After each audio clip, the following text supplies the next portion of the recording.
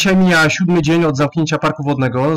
To jest związane z e, zapobieganiem rozszerzania się epidemii koronawirusa. I czy e, w tej chwili już można oszacować straty, które park wodny ponosi z powodu zamknięcia? Znaczy, e, tak, od dnia 13 marca, czyli od piątku, jesteśmy zamknięci dla klientów, zarówno jeżeli chodzi o park wodny, jak i halę sportową. Zawieszone zostały wszystkie zajęcia.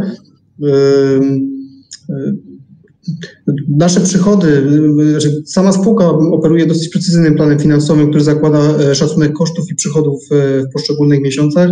Zakładamy, że przychody powinny być, są szacowane na około 40 tysięcy złotych dziennie. Oczywiście to się różnicuje e, od w zależności, czy to jest tydzień, czy weekend, natomiast można już powiedzieć, że około 280 tysięcy złotych to już są utracone przychody w, po tym pierwszym tygodniu zamknięcia. E, musimy zwrócić jednak uwagę na to, że e, nasza spółka, podobnie jak e, takie obiekty, jak na przykład hotele, kina, znajdują się w trudnej sytuacji, że u nas te przychody wyzerowały nagle, czyli z dnia na dzień po prostu mamy zerowe wpływy do kasy, natomiast niestety koszty naszej działalności w większości są kosztami stałymi. Tak? My mamy bardzo dużo osób zatrudnionych na etacie i zgodnie z polskim prawem jesteśmy zobowiązani wypłacać im te, te, te, te, wynagrodzenie, które mają zagwarantowane umowami. Także jeżeli chodzi o obsługę kredytu, czy też koszty związane z amortyzacją, e, one normalnie występują. To, co udało nam się zrobić, to staraliśmy się zorganizować na szybko, że tak powiem, no bo wiadomość o, o unieruchomieniu obiektów pojawiła się praktycznie 2-3 e, dni przed, e, przed tym faktem. Udało nam się zorganizować przerwę remontową, która normalnie planowana by była na wrzesień. Odbywamy ją w chwili obecnej, czyli spuściliśmy całą wodę z wszystkich niecek basenowych, cały, całego systemu, obniżyliśmy ogrzewanie obiektu, wyłączyliśmy oświetlenie, no ale dalej ponosimy oczywiście koszty opłat stałych dystrybucji, czy e, mocy zamówionej w ciepło, czy abonamentu wody, to, to, to akurat nie są jakby duże środki.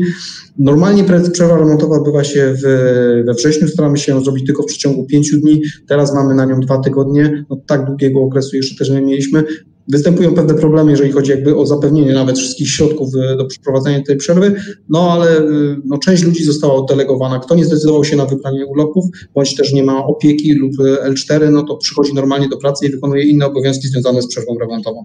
Zobaczymy, jak długo to potrwa. Otworzyliśmy taki front robot, jeżeli chodzi o czyszczenie obiektu, drobne prace i one trwają. Jednocześnie dalej kontynuowane są inwestycje, które były prowadzone, zostały zaplanowane przez spółkę, czyli projekty z finansowaniem, czyli czyli kogeneracja. Na razie to jest jednak na etapie jakby nie wykonawstwa, tylko e, prac projektowych.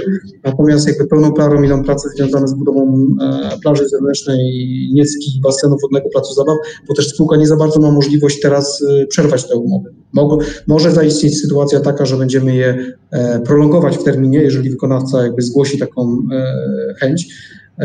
Natomiast jakby nie mamy możliwości rozwiązania, to są już podpisane umowy i jesteśmy zobowiązani wypełnić te kontrakty.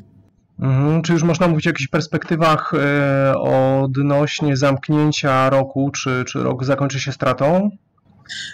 Myślę, że raczej z pewnością tak, bo, ponieważ jakby sama spółka, jak kalkuluje plan, ja to nieraz akcentowałem, e, wszystkie nasze przychody są tak kalkulowane, że e, no, spółka nigdy nie wykazuje dużych zysków. Tak?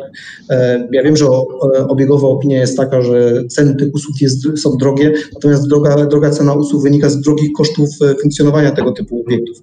Mamy większe odpisy amortyzacyjne, ale te odpisy amortyzacyjne, co mam nadzieję widomi dostrzegają klienci, inwestujemy z powrotem w obiekt, tak? czyli prowadzimy e, remonty szatni. Teraz ta plaża zewnętrzna, miasto tutaj nas dokapitalizowało, ale spółka z, z tych środków, e, które gromadzi czy odkłada, to wykłada ponad 1 600 tysięcy złotych na tą plażę zewnętrzną, żeby ją e, wykonać. Także mamy wkład własny do kogeneracji, więc te środki wszystkie z amortyzacji, które się generują, my inwestujemy, reinwestujemy dalej, a także obsługujemy kredyt, który jest zaciągnięty jeszcze z okresu parku wodnego.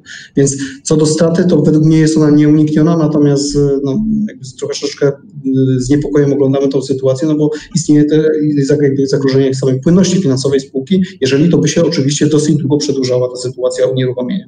Mhm. A jak długo musiałaby trwać przerwa, żeby doszło do problemu z płynnością finansową spółki?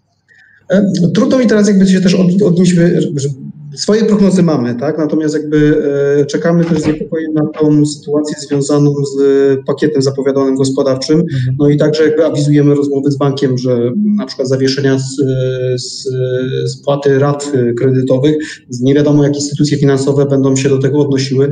Spółka obsługuje zadłużenie rocznie w, łącznie z odsetkami blisko miliona złotych. Tak? Nasz przychód utracony w jednego miesięczny to milion złotych, czyli jeżeli wyobraźmy sobie, że zawieszenie spłaty daje nam jakby miesięczny okres prolongaty, y, jakby tak ratuje spółkę. Tak? Więc będziemy się na to. Myśl, spółka nigdy nie ma takich, no ponieważ jakby mocno angażuje się też w działalności inwestycyjnej, nie ma dużych środków puforowych. Zresztą jak większość polskich firm e, stara się raczej inwestować w rozwój, bo one przekładają się na przykład na przykład przychód, więc mówię, kwestia miesiąca, półtora miesiąca, to tak, taki bufor możemy e, posiadać.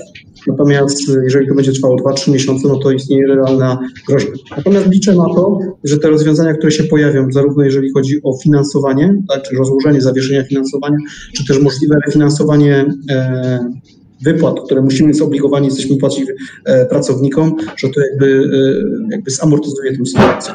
Na razie mówimy o dwóch tygodniach. Mamy z tyle głowy, że to może jednak potrwać spokojnie, do, jednak do świąt. Co będzie się działo później? No, na bieżąco jest, jesteśmy e, i analizujemy sytuację. Mhm. Nie chcę jeszcze czarnych scenariuszów, natomiast no nie, to nie jest tak, że czekamy na założonymi rękami.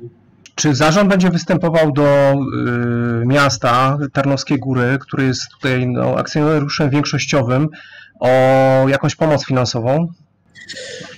Znaczy powiem tak, jeszcze jakby nie, nie, nie, nie złożyliśmy takich, e, takich wniosków, ponieważ zamykając samą, samą spółkę mówiliśmy o pierwszych dwóch tygodniach, tak? Tutaj takiej potrzeby wtedy nie występowała. Natomiast jeżeli będzie to trwało dłużej, no nie wykluczamy też takich sytuacji. W budżecie miejskim zapisane są środki na e, poręczenie kredytu, tak? Czyli jeżeli spółka nie była w stanie tego e, kredytu sama obsłużyć, to wtedy miasto wchodzi z poręczeniem. No nie wykluczam takich rozmów później już z właścicielem, żeby ta pomoc się pojawiła. No to są sytuacje od nas niezależne, jakby nie wynikają z winy zawinionej przez spółkę czy pracowników tutaj zatrudnionych. Okej, okay. dziękuję za rozmowę. Dziękuję.